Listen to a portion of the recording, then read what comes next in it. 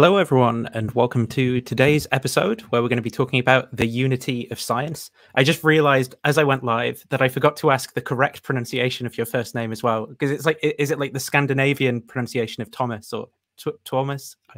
That's that's exactly right, Nathan. Thanks. uh, I, I, call myself Thomas half of the time, so no worries.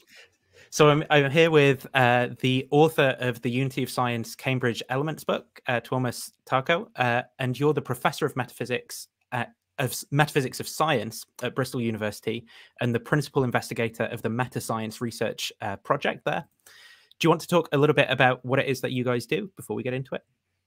Yeah, very briefly, I can I can mention something. So um, we've been having this uh, this project on uh, the full name is the Metaphysical Unity of Science, Meta Science for short, um, a project funded by the European Research Council where we uh, uh look at things that are relevant for this question about uh, the unification of the sciences.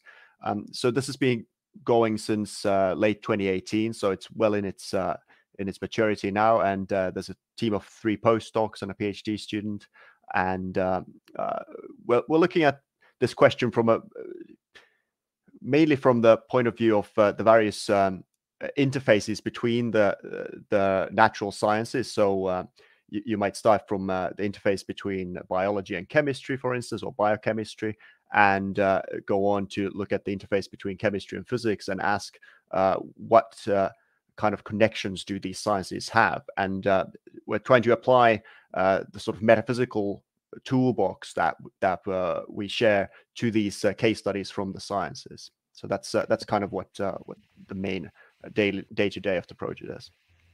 So the first question then which is mostly for people who haven't kind of heard of the unity of science before.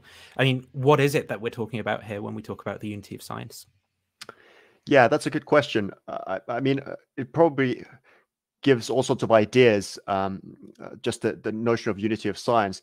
But in, in philosophy, um, it has a very specific history. So it goes back to this uh, uh, uh project that was perhaps set in motion by um, uh, logical empiricism and positivists and the Vienna Circle, but they didn't really use this notion of unity of science.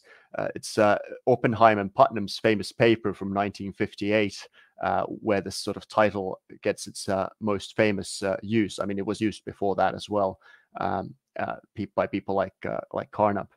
Um, so, what what is this unity of science supposed to be? Well, the traditional idea is that uh, it is uh, uh, something that explains um, uh, the common background between all the sciences, or that's the ideal anyway. So um, often this is connected with with reduction, the notion of reduction, which I, am sure we'll talk about a little bit, uh, and uh, gives a sort of um, hierarchical view of reality where you might start from the higher level sciences, let's say psychology, economics, and go to uh, biology, chemistry, and end up with with fundamental physics. And the thought might be that uh, you uh, might be able to explain all that's going on in these various sciences just by uh, referring to fundamental physics in the end. So that's the sort of extreme reductionist idea that uh, goes um, goes together often with with the notion of unity of science. Now, uh, with the same breath, I must say that uh, nowadays this type of idea is, of course, very unpopular and uh, uh, not very many people at all would would hold to this sort of old idea of unity of science. So it has a bit of a bad name, maybe. But uh, what I try to show in this uh, in this element, I think I have a physical copy here as well that I can advertise. Nice. Is uh, is that uh, what what I try to show is that there's still room for unity of science, the notion of unity of science, if it's understood um, in a bit more um, liberal fashion. And there's a lot of work actually now coming out that uh, tries to bring this notion back and understand it in a sort of uh, more acceptable way. So hopefully we'll get on to some of those reasons that people might um, resist unity of science projects because I think a lot of people might have and understand, you know, think, well, clearly the sciences, you know, they're all talking about the same thing. They all line up. So hopefully we'll make clear what some of those, um, what some of the arguments for and against are as we go through. But firstly, then, could you just talk to a bit of the history then behind these unity of science projects? So you mentioned um, logical empiricism or logical positive, logical positivism. Um, I mean, what were the ideas that were kind of driving some of these programs, and how did they fall out of fashion, bringing us to sort of where we're situated today? Yeah, good. It is it is important to sort of see where where this uh, tradition was coming from.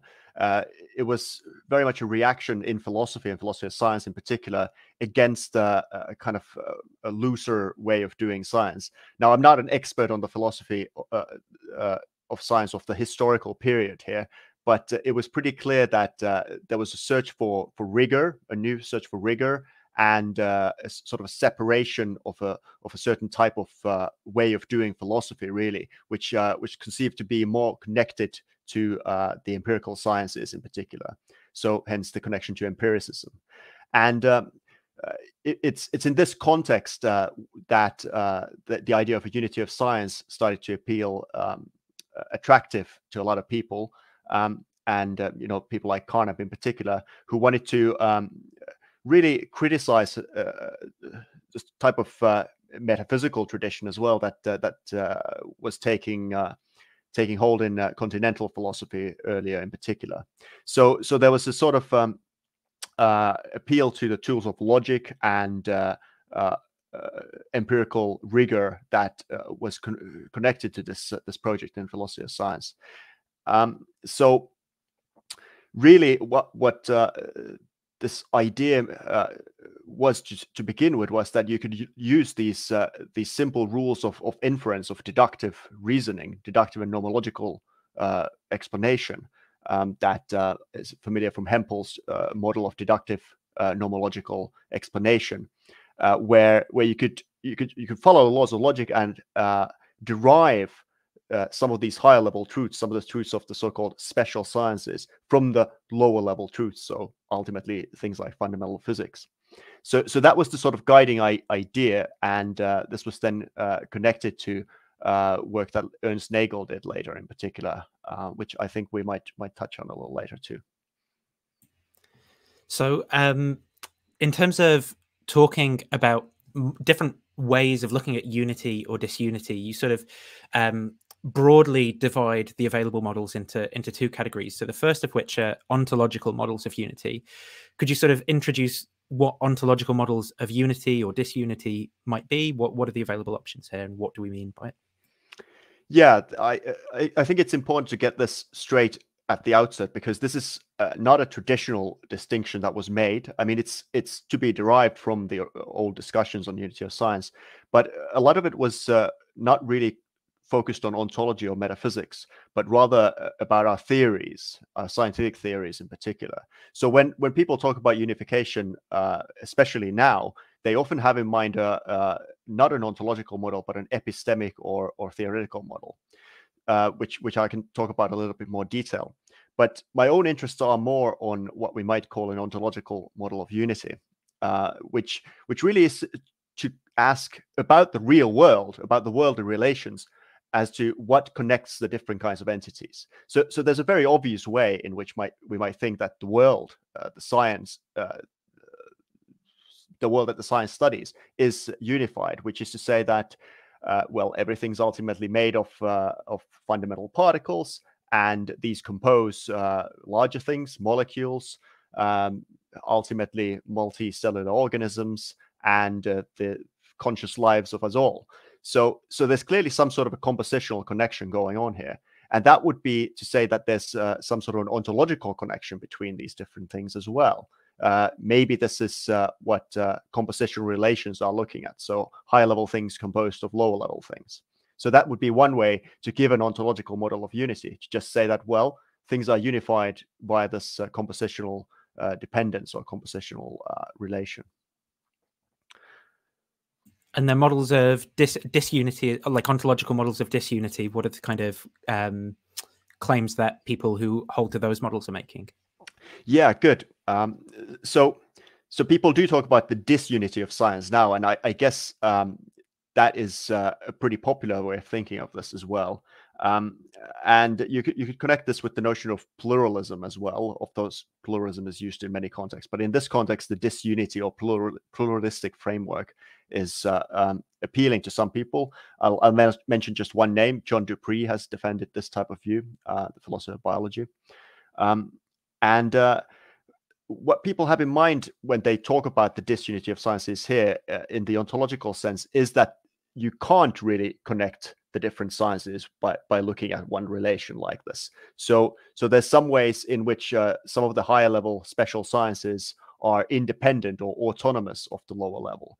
And certainly it would be entailed that you can't derive uh, the higher level truths from the lower level truths in the way that uh, perhaps Nagel and uh, uh, some earlier proponents of the unity of science might have thought. So, so there isn't this sort of a clear explanatory or um, uh, explanatory connection or derivability of uh, the higher level truths from the lower level.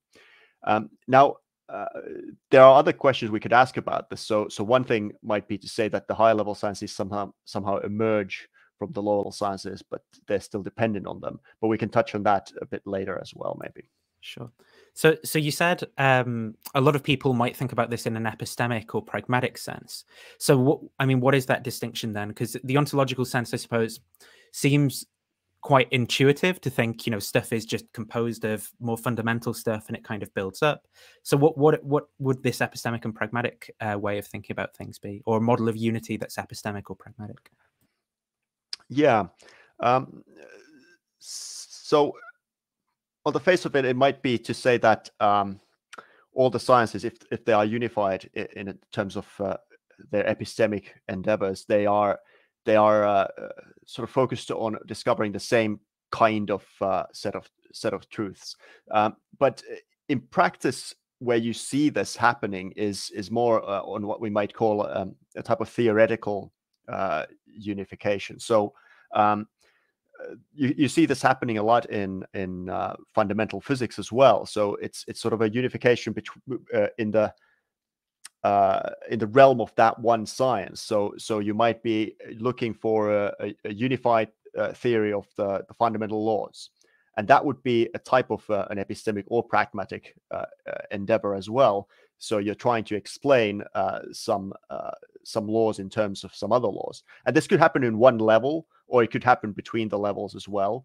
So you might be interested in in explaining uh, some chemical phenomena in terms of uh, uh, quantum mechanics. So look at, look at quantum chemistry.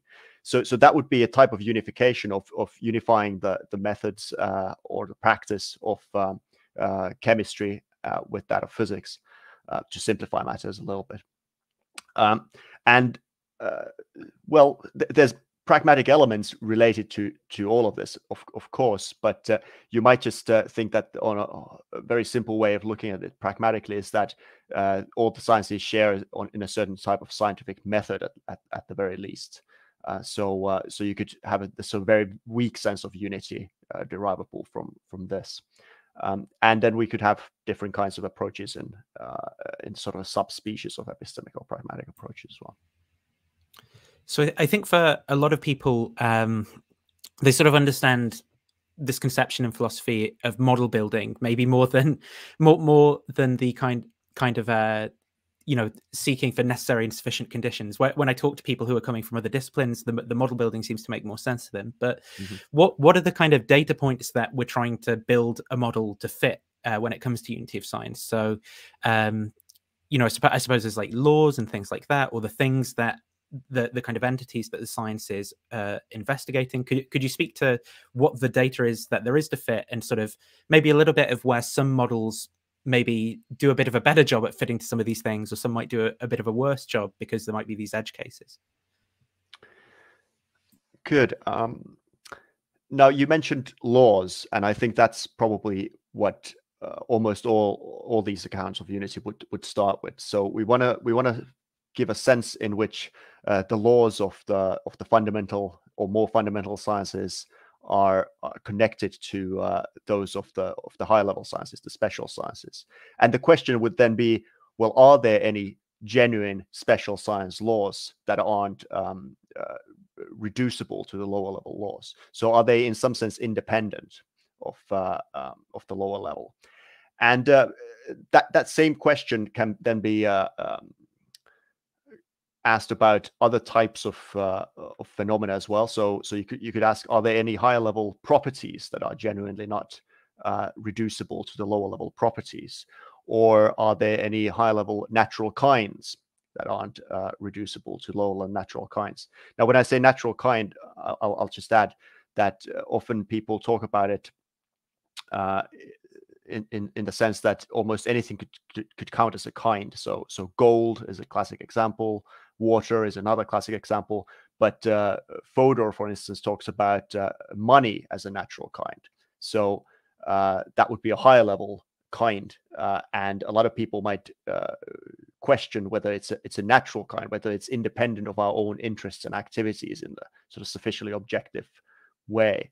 So so Fodor would argue that something like natural kind uh, something like money is a is a high level natural kind, and it has genuine laws governing it. So he mentions uh, a law of economics, Gresham's law, that governs uh, economical uh, activities, and these would be the sort of main data points that we would be looking at, I guess, whether there would be truly independent higher level laws, properties, kinds, really whatever you're interested in.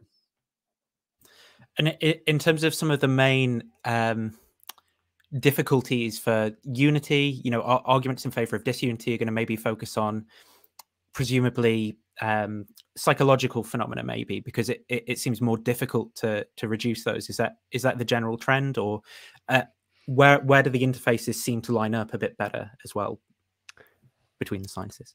Yeah, good. Um, so uh, you're absolutely right to say that conscious would be a, would be a good would be a good target here. So so this is uh, I guess one of the traditional reasons why someone would resist uh, the unity of science thesis. So so Fodor has a couple of famous papers on this, uh, uh, and he's clearly I mean he mentions things like money, but he's clearly interested mainly in in conscious phenomena or uh, things like uh, pain, the experience of pain and other mental states or belief states, things like this.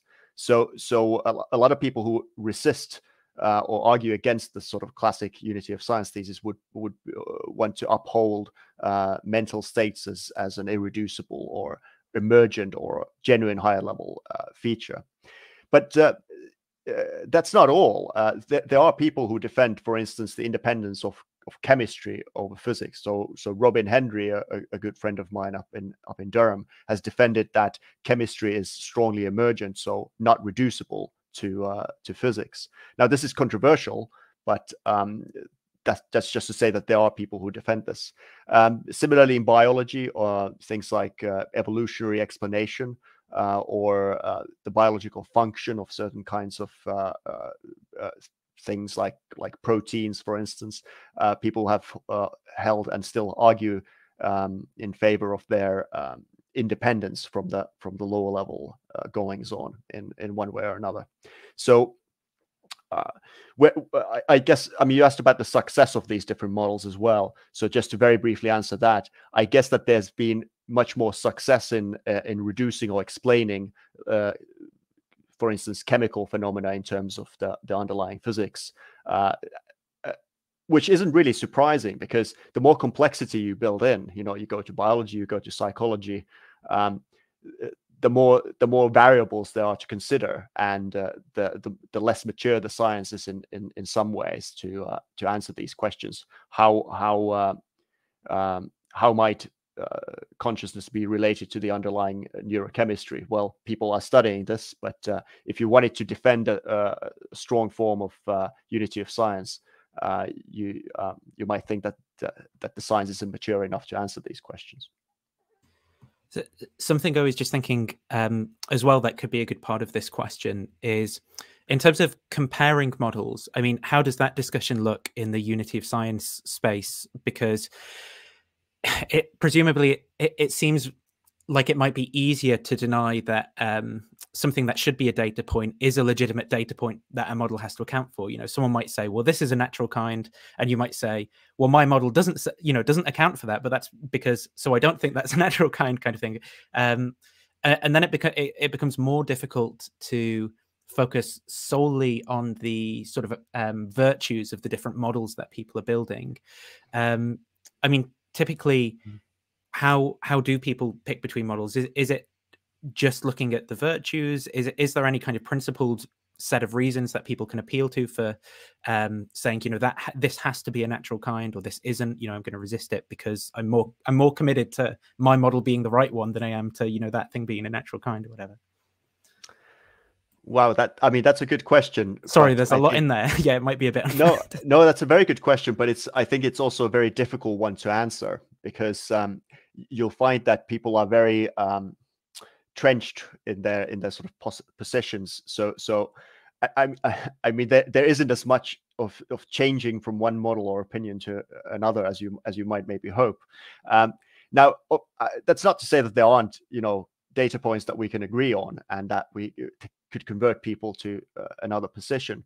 And of course, I like to think that all of this is uh, continues with the with the empirical sciences.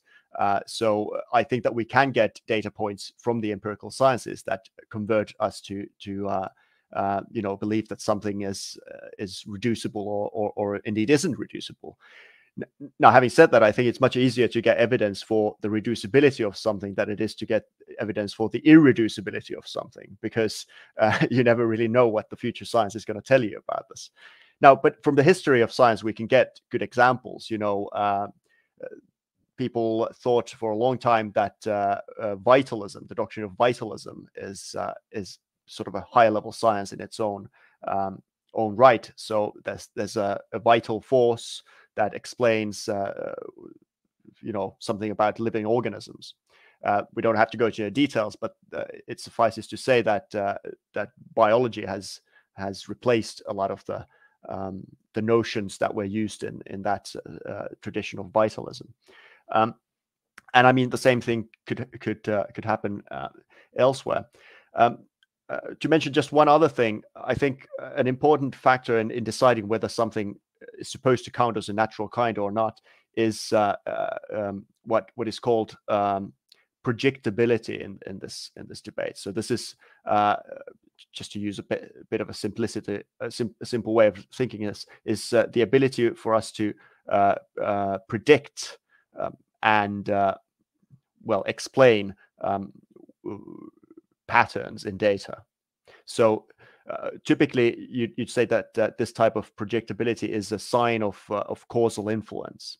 And uh, if you think that causation is a genuine phenomenon, then you might think that this is uh, what latches you on to what's happening in the real world. So if if a if a postulated higher level kind or property is causally influential, then it could be deemed real. Now, this is going back to some popular doctrines in history of philosophy as well. Now, the problem with this, uh, very briefly, is that uh, often it's difficult to say what exactly is having the causal influence. So whether we could explain the causal influence in in uh, some other ways. Oh, that's your next question. This is perfect. Well, I thought perfect. I thought yeah, I thought I'd pop it up because if it, if it's come up, I, I want people just to be able to kind of see uh, the the questions underneath as we go. So is there a sort of um, convenient example of this projectability then that that you could give for people just to sort of um, flesh that out a bit more? Yeah, I mean, you could you could really think of any kind of uh, uh, any kind of law of of, of nature. Um, uh, they they would they would give us these sort of tools to project. Um, so um, let me take one that Hempel uses. All gases expand when heated under constant pressure. So uh, uh, something something like this would would give us uh, uh, reasons to think that we can we can make a universal generalization and there's there's some sort of law-like explanation involved. And when there is this type of uh, a law-like explanation going on um, then we can make predictions about the future behavior of those uh, of those gases you know something like the ideal gas law. Um, now um, uh, maybe it's I wonder uh, if it's good to Im uh, Im imagine a, a, problematic case as well at this point. So, well, we might return to this. So, so I'm thinking of the debate that Fodor and Kim had later on about these sort of cases. Um, but yeah, so so I think it's it's good to think of this idea of, of projectability just as a, as an ability to make predictions which are somehow cause uh, uh tied to the causal uh, background. And could you speak to the sense in which pe people often say natural kinds carve nature at the joints? Um, and I think I think for for modern people, it's sort of difficult to understand what that might mean. Um, I think maybe that makes more sense in a kind of Aristotelian or Platonic framework. And I don't I don't mean to be dogmatic and just sort of rule those out. Um, but I think most people sort of fi- find the idea of things having kind of like essences or something a bit sort of spooky or something. But so so in a in a more kind of naturalistic framework, what what does a natural kind mean? And then maybe you could talk about, you know, if there are contemporary versions of Aristotelianism or Platonism that seem, you know, more plausible as well for for providing natural kinds. Good, yeah. I'll, be using the notion of natural kind a little bit already here, of course. Um, uh, but my my own view of it is sort of traditional. So I'm uh, I'm uh, sympathetic to a type of uh, uh, Aristotelian view about natural kinds. Well, what we might think is Aristotelian view about natural kinds. Um, but the, the notion is used very liberally nowadays. So, so I think it's helpful to distinguish between uh, what we might call natural kind terms or just kind terms and what are supposedly genuine natural kinds. So we use uh, kind terms. You know, we talk about cars and pencils and uh, all sorts of things, artifacts that we've we've created. Now, uh, most people would agree that at least these aren't natural in the in the intended sense because we've created them. So sometimes you, you might appeal appeal to uh, uh, mind independence when you're talking about this, but that natural kinds carve at nature at its joints. So you might think that a, a, genuine natural kind has to be somehow independent of our of our activities or interests in in, in this sort of way. Um, so the the you, other part of the oh sorry you I, I was going to say the other part of the question was sort of like so what I mean what's the sense in which these things sort of genuinely carve nature at its joints, so to speak, which is what you often hear people say who talk about natural kinds. Yeah, eh, well, I mean, that's uh, again, that's a good question, um, but very difficult. Well, so, so I mean, the joint carving analogy goes back to Plato. Uh, so, so it has a it has a venerable history, but people use it in all sorts of ways nowadays. Um, but I, I, think that the uh, the core is there uh, that is supposed to be there uh, is is just the idea that there is a level of objectivity or or indeed mind independence, which is difficult to specify. I should say the mind independence of a natural kind as well. I have a paper on this uh, that hopefully I can cite at, some point. Um, so. Um, uh, I, I, mean, not to go, not to get too bogged down with the with this notion of joint carving itself. It, it it's supposed to be something that is is worldly. It's out there. It's not just uh, our decision you know I, we can decide that something is is a, is a kind and this is what we would do with artifactual kinds all the time right so uh, we we say that there's something in common with all of these uh, all of these pencils. Well what's what's in common with them? Well you can write with them. Well that's a function. So that would be a functional kind. But i think that not all functional kinds certainly are natural kinds in the intended sense because there's nothing uh, the world doesn't as it were do anything uh, to uh, make pencils homogeneous in this way. It's a, our decision that well, anything that you can write with is a pencil or is a is a uh, writing tool, pen, whatever. Same goes with chairs or tables or what have you.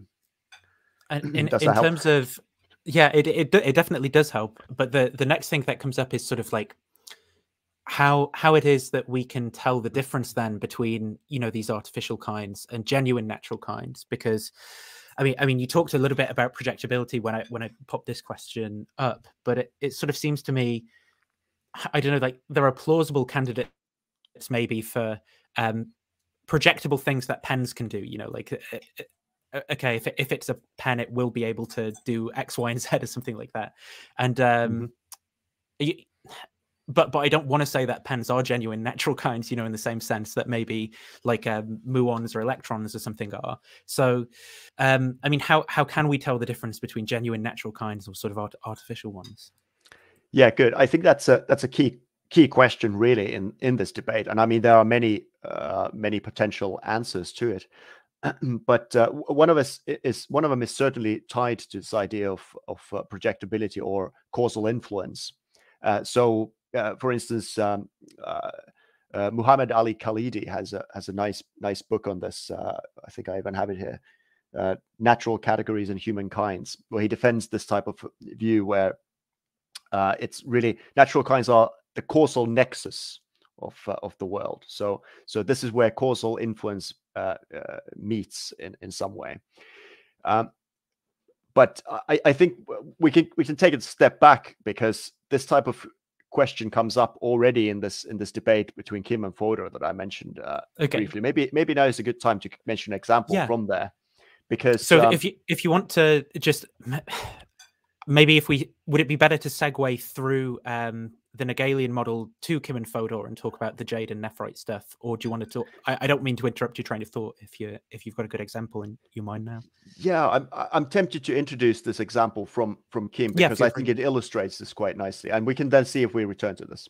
So yeah. so this is this is not going to take too long necessarily because um, the the idea is very simple. Uh, it's that uh, Kim Kim uh, mentioned this case of Jade uh, that that you just said uh, where jade is being uh, is being realized or reduced to jadeite or nephrite. So so jade is a mineral kind, but it turns out there's two different types, jadeite and nephrite, and they're all called jade.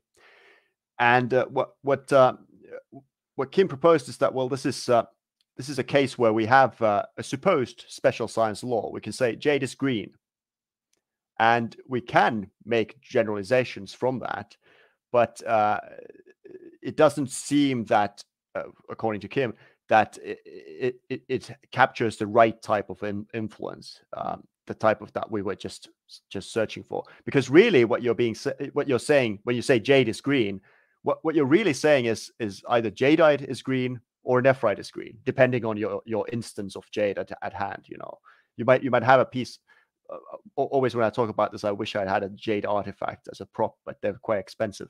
Uh, when you have a piece of jade in your hand, you say, well, jade is green, or this, this piece of jade is green. Uh, what you're really saying is jadeite is green or nephrite is green.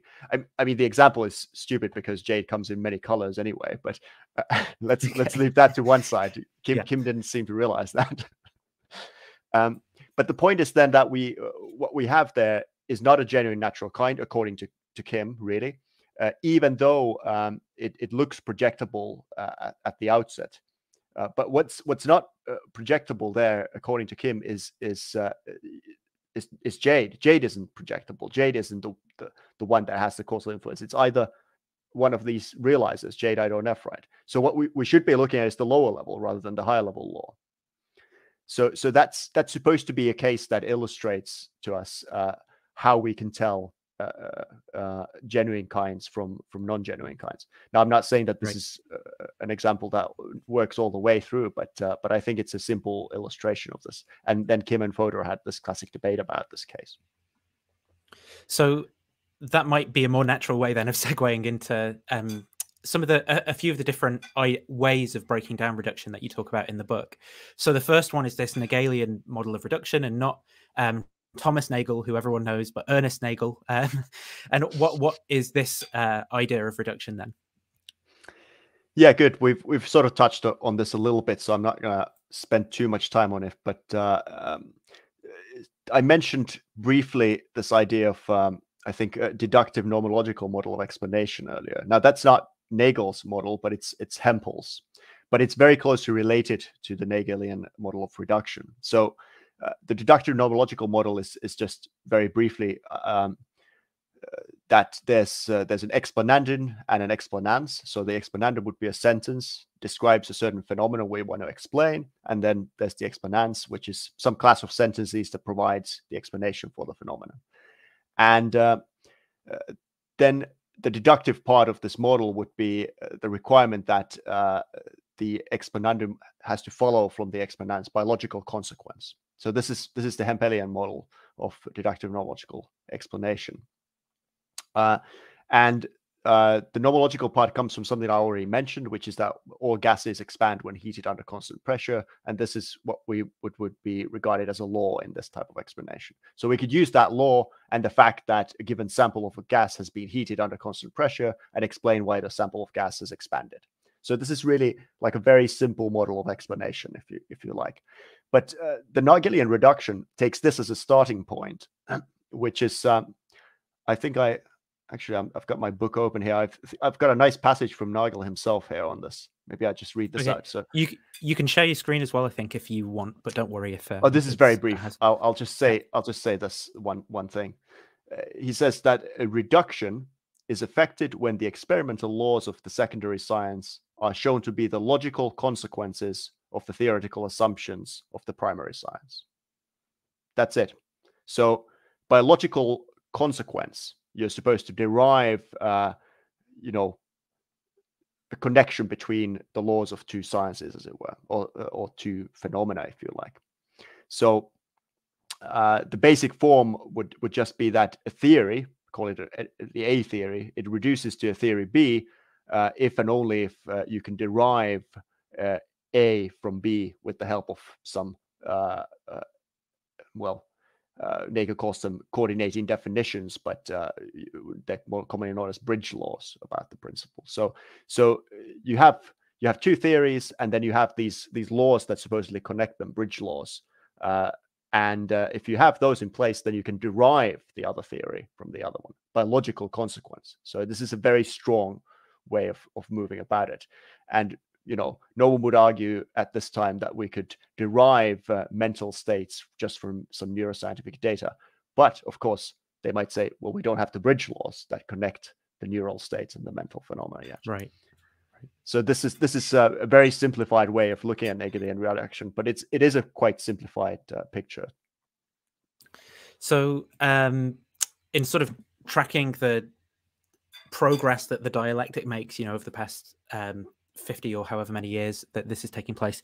What is Fodor's multiple realization objection then to these kinds of Unity projects? Yeah, good. I've uh, I've sort of uh, uh, predicted some of these these issues already in what I've said before, but now now we can kind of close the circle because uh, the case of Jade, of course, is uh, is something that Kim claims claims is a case of multiple realization. But it, at its simple level, let's let's start with with the case of pain, right? So multiple realization is just the idea that the same uh, higher level uh, phenomenon, such as pain, can be realized by multiple different lower level phenomena. So um, take uh, take human pain and uh, uh, well, octopus pain. octopus pain. That's the classic example. I mean, uh, just well, let's keep it simple. Yes, take human pain and octopus, octopus pain. This is supposed to be, of course, the same higher level phenomenon in this case, but that can be realized by two different kind of uh, neurophysiological processes: the one in humans and the one in octopus. Um, so uh, the the thought is just that you you can you can find uh, a higher level phenomenon, uh, a natural kind, if you like, uh, and uh, you can find multiple different bases from it uh, for from the lower level and that already blocks the sort of simple identification of the higher level and the lower level stuff. So you can't just say that pain is uh, neurophysiological stuff of kind A, because it turns out that there's stuff kind B, which also brings forward or uh, causes, if you like, the same type of higher level phenomenon. So this is uh, like a very simple way of looking at it, of course, but um, that's supposed to block this type of old uh, idea of unity of science as well, because uh, um, uh, you can't just uh, proceed by logical consequence from one to the other if, if there's these multiple paths that you, you're supposed to follow. You really really need identity uh, to be able to follow this uh, this through. So in in terms of um, what's most popular for blocking Unity projects, I mean, is this still sort of the main kind of boogeyman, as it were, or are uh, other i mean obviously there are other arguments but are there other sort of more popular that are seen as more forceful uh, reasons to kind of reject unity now? Yeah i i, I would still say that uh, the multiple realization objection in its various forms um, i mean it has been uh, discussed a lot after Fodor as well. Uh, but I, would still say that that's the main reason uh, you know if you if you if you were to ask philosophers of science now why why would why don't you accept you know theoretical reduction, ident- identity reduction, they would probably cite, most of them would probably cite uh, multiple realization uh, objections or arguments. Um, so I think that it's still the main uh, main reason to go here. Um, I mean, there are others though. Uh, so uh, a lot of people might say, and rightly so, that just the, the old-fashioned model of multiple is is itself too simplistic. So some people would just deny this type of levels thinking altogether because the old view of unity of science is is built on there being these hierarchical levels that are very strictly connected. So uh, a lot of people would say maybe that um, the truth is much more messy. You know, there's all sorts of interlevel connections, and there's cross-cutting kinds, uh, and all sorts of things that um, prevent even maybe even more seriously than the multiple realization prevent this type of uh, reductive ac activity. So uh, these are, I mean, some ways I'd, I'd, say that these are just more fine-grained versions of a, a, type of multiple realization objection, but um, uh, the classic one is is still forceful for for many. So I've got a couple more questions for you, and then we will move on to Q and A. So mm-hmm. just people who are watching in the chat, if they want to put those questions now, and then we'll have them to come to in a moment. Um, but we talked a lot about, about sort of um, ideas of reduction. But what are emergentist models of unity, and how do emergentist models differ from reductive models? So how, how do emergentists sort of cash out what emergence means and things like that? Yeah, good. This is obviously a, a really big topic, but uh, but just to connect it to uh, what we've been discussing, I've, I've, mentioned emergence a couple of times in passing here, and uh, uh, there's really we should at the outset distinguish between weak and strong emergence. So so emergence uh, altogether is just the idea that there's some sort of autonomy of a higher level uh, science or or or kind or what have you, and it's it's it depends from the lower level uh, that's a part of uh, the emergentist model. It depends on the lower level, but it has a level of autonomy. Now, there are many different ways to cash out what that autonomy is supposed to amount to, but uh, a good way or kind of a popular way is to say that there's some sort of new causal power or influence, which connects it back to what we've been talking about. So, um, uh, kind of a weak emergentist picture, which is very popular. It, it can be uh, a fairly weak view, as the name suggests. It's just that uh, there's some sort of uh, surprising or or novel feature that comes about in in scientific discourse, for instance, and we, we could say that it's it's weakly emergent from from uh, what's what's happened before, even though we we kind of see how it's connected to the lower levels. So um, uh, so uh, weak emergence isn't necessarily a, a, particularly problematic view for the unity of science. I think uh, uh at least if it's understood relatively weakly, you can very easily connect it with this type of idea. But uh, the idea or possibility of strong emergence is more serious because that is the idea that whatever new powers or kinds come about, they are they are totally novel. So they are not present in any format in the lower level, and we can't necessarily derive them from the lower level either. So again, consciousness is, is often mentioned as a potential example. But as I noted, uh, some people might think that uh, some of the other sciences as well have this element of strong emergence, like Robin Hendry defends in the case of, uh, of chemistry. Um, so uh, maybe I won't try to give a, a, more comprehensive introduction to emergence because there are very many different approaches to it. But um, th- just the implication for uh, for the unity, uh, the way I understand it, is that weak emergence wouldn't be a problem for the type of ontological unity that uh, that I've uh, I've defended, but strong emergence uh, potentially would be there's obviously so much to each of these topics, you know, that that can't really just be covered in in about an hour or so. But I think you're doing a good job in terms in terms of um, covering this a, a, bit of the giving uh, an impression of some of the breadth and depth to some of these things. Um, so the the last question then that I've got here is what do you view as some of the most promising research programs in the unity of science? So, I mean, this could be in terms of making progress to show you know clear cases of ontological reduction or reduction of different kinds that haven't been shown before or clear cases of disunity. I mean where, where does it look like we're kind of heading in your view? Yeah good. Uh, i mean all of the things you mentioned would be, would be relevant. So I, I, guess I would start by saying that uh, the promising research in this area isn't necessarily done under the label of a unity of science. And that's partially because it still has this baggage from the old, uh, uh you know, uh, reductive models, which are not not very popular now. So I, I think that the most promising work is is done on a on a case studies really. So uh, detailed case studies from the sciences that try to uh, look at the connections between, uh, let's say, um, uh, proteins and their chemical basis. You know, this is stuff that I've been interested in myself. Uh, biochemical kinds, uh, kinds that natural kinds that seem to overlap uh, to sort of scientific boundaries, if you like. Of course, science isn't actually layered that sharply anyway, but those sort of case studies can help us to understand well what it is that connects these types of kinds and these types of disciplines or phenomena into each other. So, looking at those relations that uh, supposedly um, well, I mean, they look a little bit like the old bridge laws, but I, I don't think they should be called bridge laws because uh, uh, they could be as simple as as compositional relations or um, uh, even dependence relations at the same level. So so you might be looking at uh, these sort of things just in in foundational uh, physics as well. So I think those those would be the the best examples.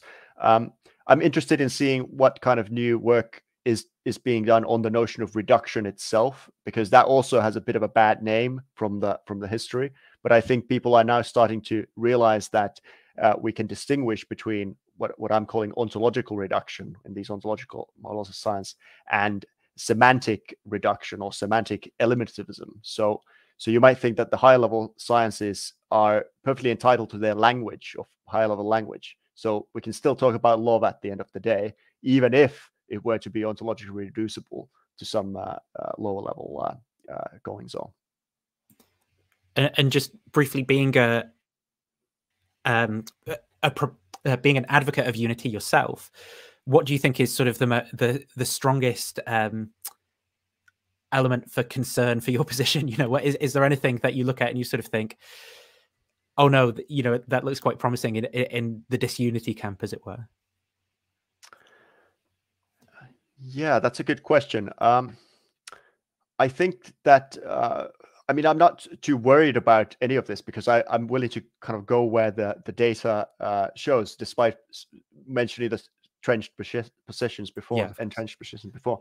But um, I guess I would be. Uh, I, I, think that where where I would need to do more work to understand how uh, the model of unity that I I prefer works is in the in the realm of uh, uh, process ontology, the type of uh, uh, process views in in biology for instance, defended by by John Dupré, who I mentioned before, who are strong proponents of of disunity. And one of the reasons is that reasons is that you have to understand life according to this sort of, of biological phenomenon, according to this view, as a as a type of process. And uh, I haven't quite made up my, my, mind about what's the best way to approach those questions uh, in, in, the ontological context that I'm working with. So, so the sort of dynamical aspects of these uh, of these phenomena as well. Uh, are are uh, uh, you know difficult questions. So if we go over to the audience Q and A now, then um, there was a question a little bit earlier, and I'm not sure if I'll be able to find it. Um, that I wanted to get back to. It was asking though. I can remember what the question was, and maybe you could begin answering it, and I'll see if I can find it. But it was, um, what is natural. So when we're talking about natural kinds, for example, I mean, what what mm-hmm. do we mean by natural um, when we're talking in this speaking in this context? That's actually a great a great question, and and again, a, as great questions often are, very difficult to answer comprehensively.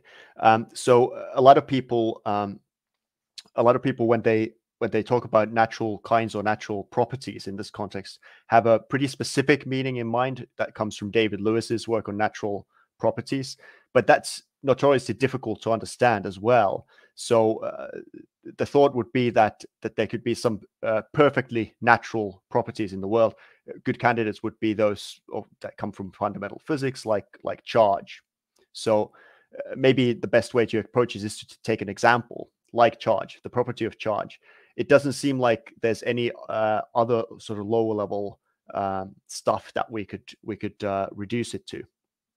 Um, now, uh, the, the, tricky thing here is is that uh, a lot of the things that we might say are candidates for natural kinds are not natural in this sense at all. I mean, uh, if they if they're things like pain states or or uh, even the case of uh, of some chemical kinds, um, there there's a, a, certain level of of, uh, of messiness involved um, that I mentioned before. So uh, I guess just just to give an like an intuitive idea of of this, uh, you, you could say that at least we can say clear cases of what aren't natural properties are things like uh, famous example from Nelson Goodman, grue. So uh, this is this is the uh, sort of weird combination of green and blue, uh, where emeralds are, are green at, at at one moment of time and uh, turn or could turn to be blue at a later moment of time. Um, so so a strange sort of hybrid property. Um, so uh, this type of artificial property would be a good example of what's definitely not natural, uh, according to this line of thinking. But uh, the, the tricky thing here, and this goes back to what you asked about uh, natural kinds itself, the tricky thing is uh, knowing exactly where the border is supposed to go and what the correct criterion is. So people would try to appeal to causation, but personally, I don't think that that's going to uh, quite cut cut the or do the job. Is, is there any notion um, of sort of intersubjective testability or something that goes into natural here? So, you know, say if we could, if we could reliably, um, I don't know, hold a séance and summon a demon or something, you know, like what would then demons be natural kinds that would have to be, you know, considered natural, or is that sort of, you know, that's something that's not natural? It's pushed out into the supernatural by virtue of it not being I, I don't know would it, it it's not causal in the same way as other stuff is or it, yeah how, how, do you kind of think about that sort of stuff? No good yeah i i mean i guess um, uh, so most people who talk about these sort of uh, natural properties uh, would would definitely want to rule out those cases. Um, so so one way to look at this and I, I, mean i don't think this quite works either but but jonathan schaffer has has uh, defended this type of a scientific view of natural properties or sparse properties, as they're sometimes called as well. And that could work in this context as well, which is just say that, well, if they're mentioned in the sciences, in the natural sciences, then then they're natural. I mean, obviously this is problematic because what counts as a science here in the first place. But so, so I think a lot of people would want to rule out those those cases uh, that, that you mentioned that might touch on the supernatural, as it were. So there's definitely a type of physicalist or naturalist doctrine uh, uh, on on the background here as well. Um, so another question from Ben then. Um, do you think that the hierarchy of the sciences may be motivated through a real pattern relation, transitive, obtaining between the models of the theories, uh, can also distinguish kinds of models? And then he he did put between more theoretical and predictive models, I think. Good. Yeah. Um, so uh, I'm I'm trying to see whether this refers to the uh, the the Dennettian notion of real patterns. Uh, if that's if that's I think it, I think that's where that terminology is coming from. Yeah. Yeah, that's that's right. So uh, now this is something we've discussed actually in in in my research group a, a lot. So so uh, one of the uh, former postdocs, Vanessa Seifert, has worked a lot on on looking at uh, real patterns in this context and I think that the cautious answer is that yes, you could you could develop a um, type of a hierarchical model out of this, uh, which would be a type of unity. I mean, how strict the hierarchy is going to be is is an open question here. But uh, so, for instance, Vanessa uh, has a paper arguing that the chemical bond could be understood as a real pattern. And if that's the case, then that gives us a sort of uh, way to approach this type of uh, hierarchy of the sciences via via uh, real patterns.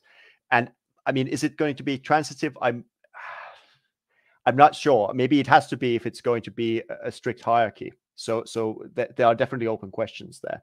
I'm I'm uh, a little bit uncertain myself about whether the real patterns uh, approach is going to do the trick here, but that's uh, I, should have really mentioned it as one of these areas that people are looking at uh, with regard to Unity. So it is it is a question on point, definitely.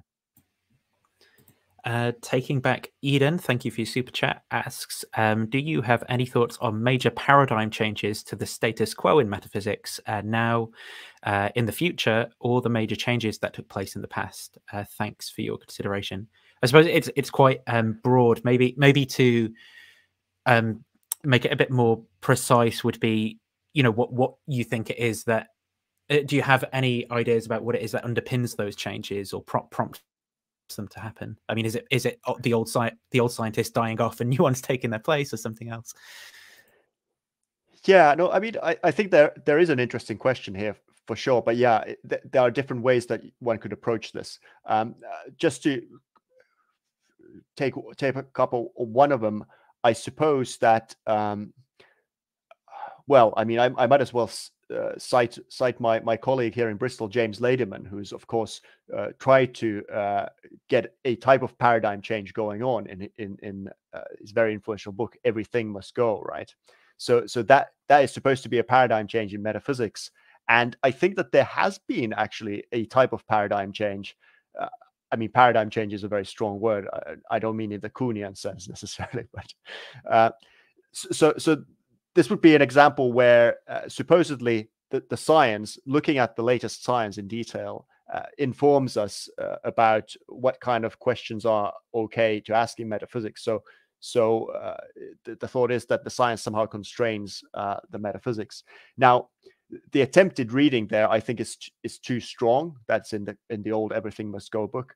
But from my many conversations with James, I can say that he's more amenable to to metaphysics than it might seem from that that introduction.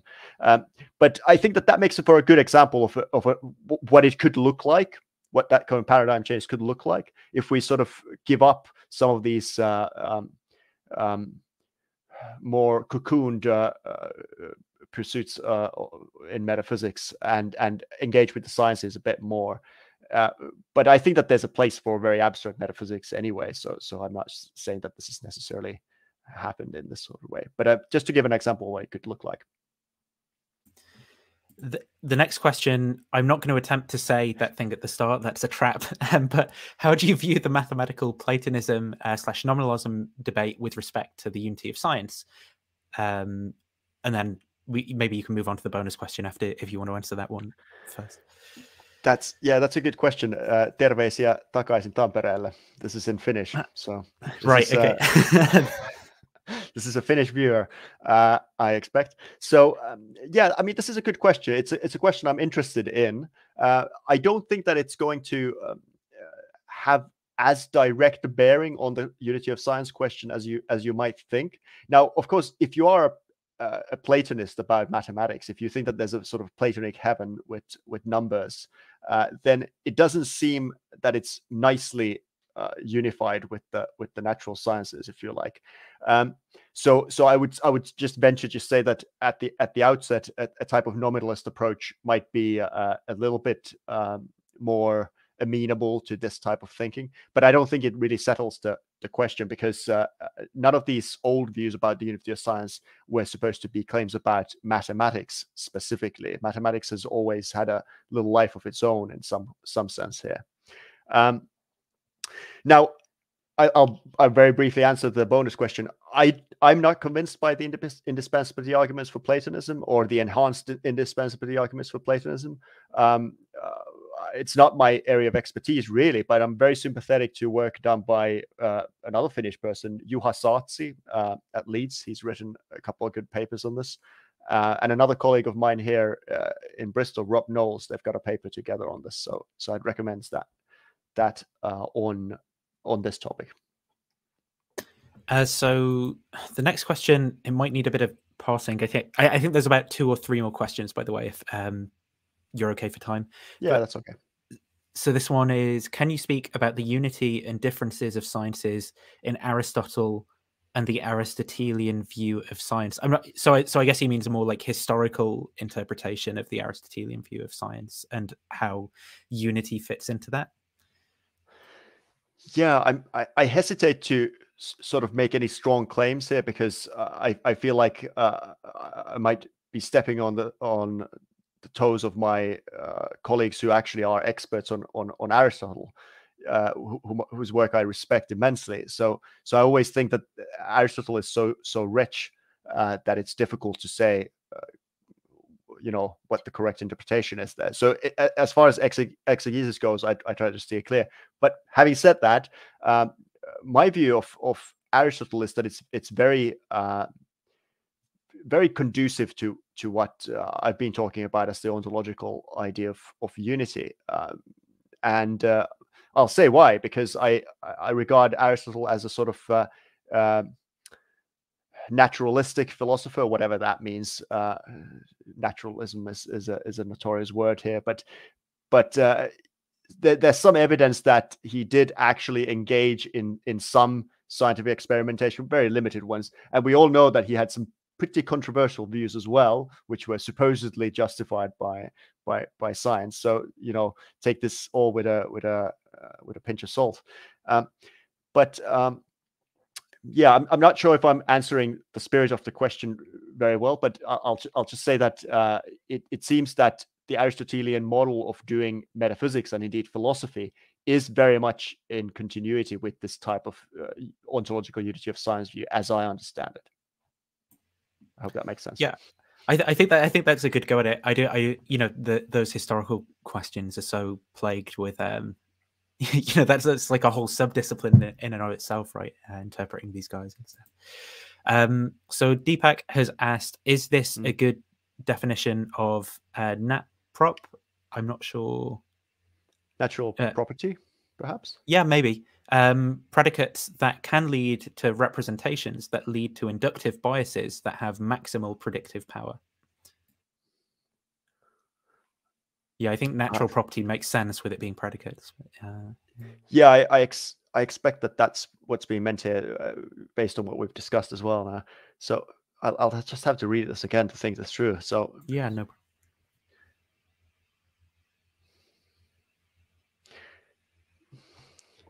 Yeah, I mean, I think that the the thought that sort of underlies here does come close to a way that some people would understand natural properties. Um, so I, I mean, inductive biases. I, I mean, I just, uh, I'm not sure what what what to read into that part of the question. But um, so insofar as um, as the underlying uh, basis of our ability to predict uh, things uh, in in science and and uh, and elsewhere is based on on something like um, causal powers, and and these are captured by uh, the natural properties, then um, then this this would uh, this would be a way to to, to track it. Now, I mean, I wouldn't myself be uh, sympathetic to defining natural properties in this way, if only because I don't think that they they should be predicates. So, so this this would be a, sort of a semantic uh, approach to them. But uh, now the, the, predicates that we use in the science or in representations that have this maximal predictive power, now they could they could uh, um, they could be an isomorphism or they could be some sort of a, a mapping of those predicates to to natural properties. Now, I don't think that all of them would necessarily uh, be so mapped to genuine natural properties. This this would be, I think, uh, a mistake. Uh, John Heil puts it well in somewhere, a mistake of sort of trying to read off the metaphysical features of the world from the sciences, from the predicates of the sciences. So I'd be a little cautious here, but there's definitely something in the background here that is readable into some of the contemporary work on natural properties. So, so uh, I think that there's there's a there's a, a proper genuine thought behind here. I think he's saying in the chat the reason that he asked that is something oh. to do with his, his job as a software engineer um, working in machine learning. So something to do with no free lunch theorem of machine learning. Um, I don't know if you, there's anything further that you want to say about that, or there's a last question we can move on to and then wrap things up. I, am not sure what the uh, uh, what the connection sure is to machine learning there. So so yeah, I can't help. I'll skip that. Um, so his second question was, what does uh, Thomas think about the unreasonable effectiveness of mathematics in the natural sciences? So I think this is the Eugene Wigner um, quote that it's what we uh, a miracle which we neither deserve nor um, something else. That, that that mathematics is so effective. Do you have any thoughts about that? Well, I, I mean, I guess uh, the sort of obvious thought might be related to an, an earlier question, which is the uh, indispensability argument or enhanced indispensability argument for for uh, for Platonism. So, uh, I mean, uh, other than that, I don't really have um, have any sort of well uh, conceived thoughts on this. Uh, I, I, guess I would just say that um,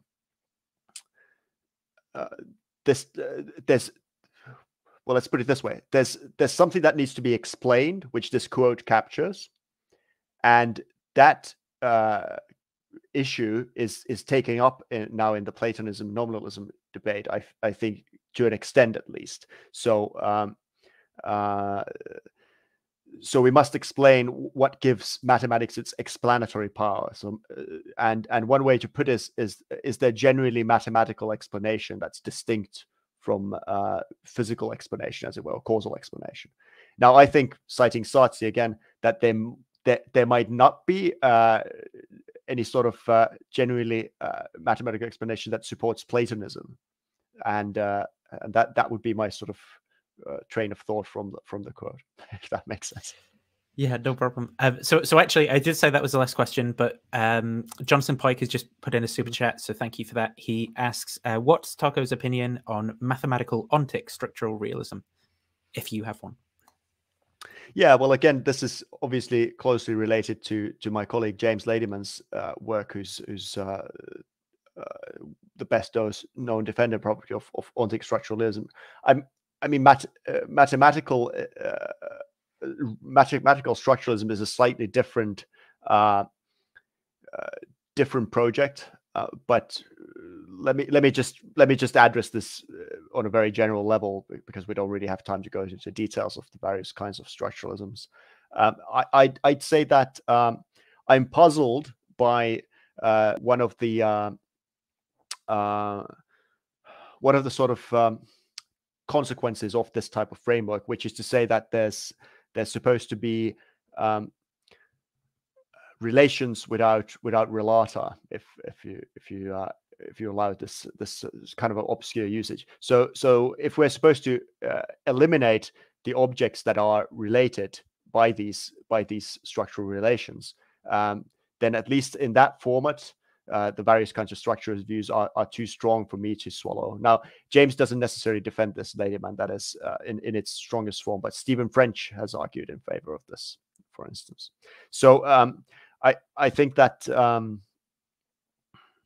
I think that they they are difficult questions for those type of extreme views uh, to to face. And part of the reason why uh, why I myself uh, am a little bit skeptical about the approach is that uh, I'm skeptical about skeptical about relations themselves. So so. Uh, uh, there's a nice paper by my my late PhD supervisor E.J. Lowe, which is to say there are probably no relations. He's got this, I think it's 2015 paper that that was uh, posthumously published or 2014 maybe and I, uh, i'm not going to go into details of why why that is the case but uh, that's maybe a nice controversial uh, comment to to end this with awesome um, well thank you very much for your time um, if people are interested to find out more either about um, the unity of science or hear more of your stuff or read more of your stuff i mean what kind of places can they go to to find that out yeah, thanks. Thanks very much, Nathan. I've been, I've enjoyed the chat. Um, so, uh, as mentioned, this book is is open access. You can just download it from uh, the Cambridge Elements in Philosophy of Science website. So that, that's a good starting point. Um, other than that, I would recommend the work by my team. Um, am I able to? Yeah, you can share chat as well. Oh yeah, you should be able to. Let me see. I think I, I, can give you mod privileges, which allows you to post in the links. I was just gonna I, I was just gonna uh, post the the link to the the project website. Um, if you just say it's you, and then I can give you the setting to it, allow you to put links. I can send it. I can to, put that in to you via private oh, okay. chat, can't I? Yeah, that's true. You can do that as well. Um, cool. I've got it. Yeah. So. Uh, that that might be a good starting place. There's a section with with papers on the MetaScience website, um, and uh, you can you can find out more about the the, the team from there.